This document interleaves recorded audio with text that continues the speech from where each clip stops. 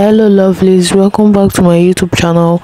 So in this video i'll be showing you how to make a very beautiful braided wig. Get ready with me. Thank you firstly you have to get a wig cap.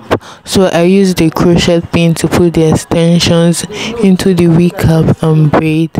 It's a really it's not a really tedious process if you already know how to braid already. If you don't i think there's a tutorial for that but it's a really great experience to braid your own wig and make your own hair. It's a really fun experience you should try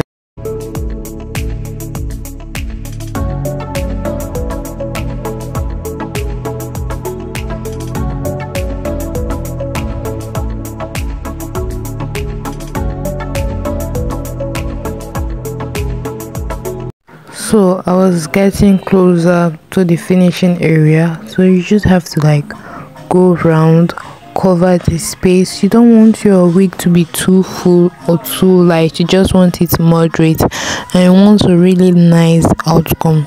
So that when you're out with your wig people will be like i love your hair and all. So it's a really fun experience. You all should try it out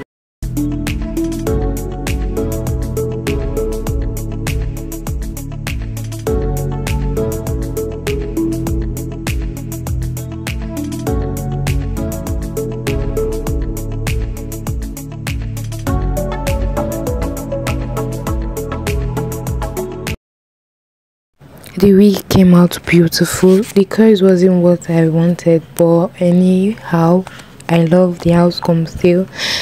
And i'm so happy i made the style. Really saved my money and all. So if you're interested in me making your wig for you any color of your choice you could dm me and i'll make it for you. Thank you all. Don't forget to like and subscribe to my youtube channel to get more interesting videos